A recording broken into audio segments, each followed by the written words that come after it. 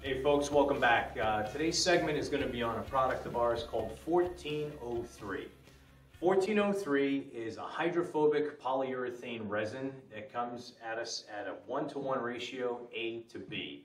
1403 is also very nice because it's a chemical cure product and it does not require the substrate to be wet either. It can cure in either moist or dry environments.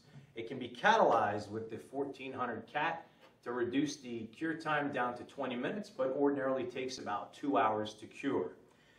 1403 centipoise is roughly 70, making it very thin and giving the installer the ability to drive the material because of its uh, set time of about two hours deep within substrate. So if you have real thick concrete structures where you know you've got networks of fissures or cracks, 1403 is a wonderful product to use because it's very, very thin. 1403 also, uh, unlike the uh, 1510, it does not expand and it also has the ability to be put into a one-to-one pump. So we have that P3003 that can be geared at a one-to-one. Very good solution in terms of conveyance equipment to get that 1403 into the substrates.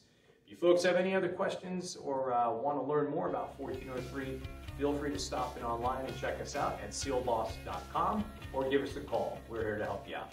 Thanks.